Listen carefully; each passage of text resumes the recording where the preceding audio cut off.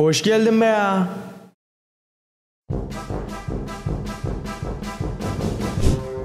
Arkadaşlar, karnelerinizi masa üstüne koyduk. Herkes bir anda açsın. Anlaştık mı? Evet.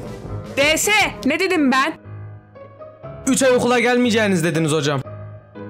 Ondan sonra ne dedim peki?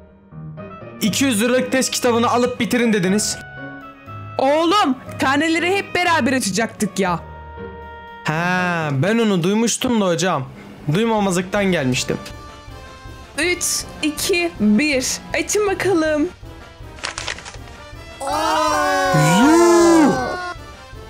Hocam bu ne? Notlarımdan vergi mi alındı? Eksi bir diye not mu varmış ya? Kusura bakma DS'cim. Okulun yarısında gelmedin zaten.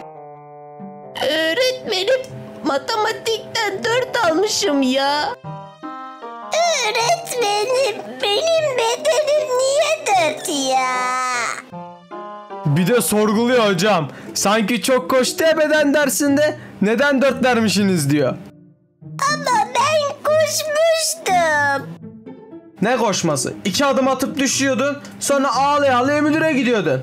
Dört bile vermemesi lazımdı hocanın. Evet çocuklar, çıkabilirsiniz. Hepinize iyi tatiller diliyorum. Hocam ne tatili? Beni bu notlarla sanayiye bile sokmazlar.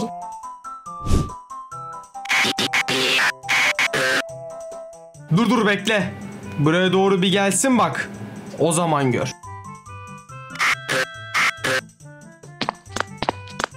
Oo Ömer Bey nasılsınız? Harikayım Des abi. Karnem çok iyi. Sonunda babam bana PlayStation 5 alacak. Aa o kadar iyi mi ya? Bir bakayım. Hmm. Vallahi helal olsun Ömer. Al bu şeker benden. Sana hediyem olsun.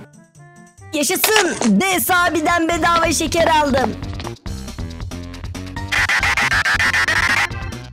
Tabi Sezican la karneleri değiştirdim.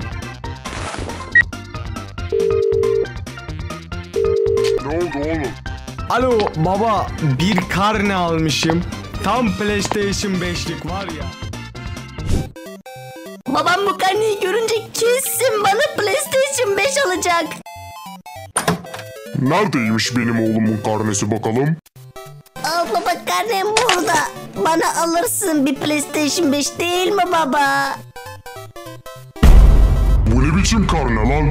Bir de konsol mu istiyorsun buna? Ama baba karnem çok iyi.